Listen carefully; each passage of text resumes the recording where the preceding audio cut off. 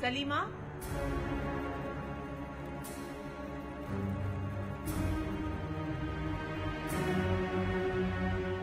बोलो सलीमा।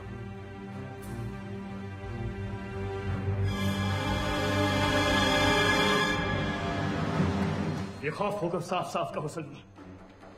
आलमपना मैंने आला मकाम महमंगा से कहा भी कि, कि खत शादी से पहले लिखा गया है।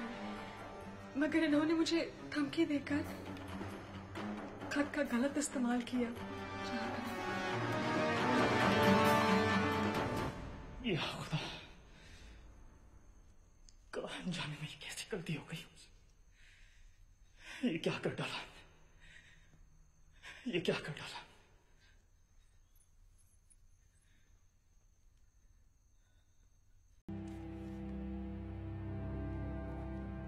बहुत खूब।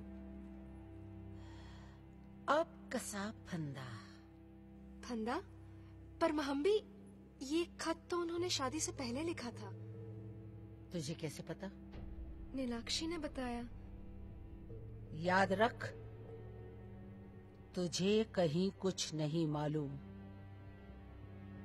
अगर किसी को बताने की ज़रूरत की तो अंजाम जानती हो। राजकुमारी जो था।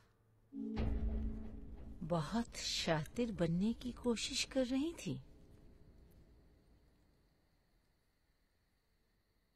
मैं हम सब जानते हैं। शमसुद्दीन अटका खान साहब तुम्हारे मुँह बोले वालिद है। और इसीलिए तुमने उन्हें खास औधों से नवाजा है। ये कौन है जो इस तरह इतनी ऊँची आवाज़ में शहनशाह जी से बात कर रहा है? ये वजह नहीं है। उनकी सियासी काबिलियत पर हमें पूरा यकीन है। आखिर अदम खां आलम पना के मुँह बोले बड़े भाई हैं। मरी यही तो वजह है कि ये मक्कार बिना ताजो तख्त के जहाँ पना की टक्कर की हुकूमत चलाना चाहता है।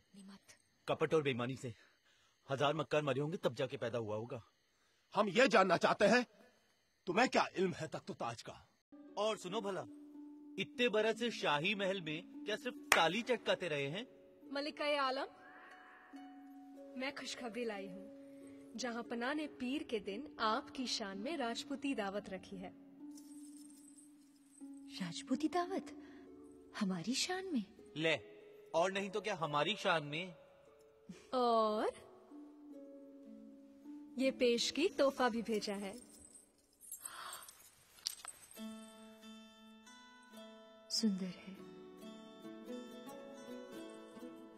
शहनशाह जी से कहलवा दे कि हमें बहुत पसंद आया।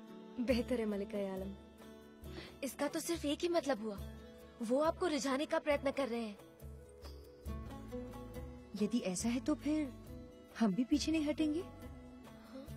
आप क्या करने का सोच रही हैं? दावत का भोजन हम बनाएँगे। हैं? लो और सुनो।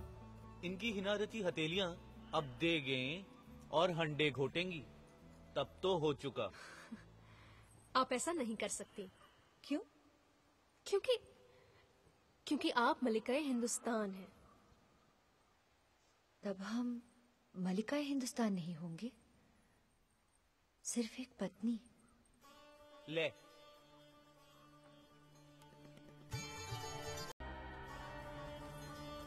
आइए मलिका आलम ये रहा जनान खाना। शाही हरम। और ये आपका शाही महल। पाँच हिस्सों में तकसीम है मलिका आलम। मुलाकात के लिए गोशे मुलाकात। और ये शाख है और ये शुरू। बहुत जल्दी बातें सीख लेते हैं और मरे टाए टाए सब बक देते हैं।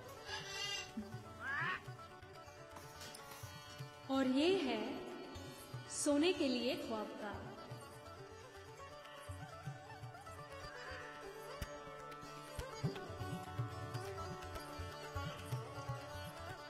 लिबास का तोशक खाना। बाहरी मंजर के लिए झरोखा और इबादत के लिए तस्बीह खाना। ए हाँ तस्बी खाने की ज़रूरत तो पड़ेगी नहीं आपको? ज़रूरत पड़ेगी नीमत इसमें हमारा कृष्ण मंदिर होगा। क्यों नहीं क्यों नहीं? अब सुबह शाम मुगल जनान खाने में भजन गूंजा करेंगे है ना? नीमत आपकी शर्तों के बारे में सुना तो था। आप हैं वाकई तारीफ़ के लायक मलिका आलम। आप भरोसा रखें ये मुगल हैं। बहुत शानदार मंदिर बनेगा आपके भगवान जी का। शानदार नहीं हमारे कक्ष में बस छोटा सा। ये बात तुम्हें शहनशाह जी तक पहुंचानी होगी। जी मल्लिका आलम।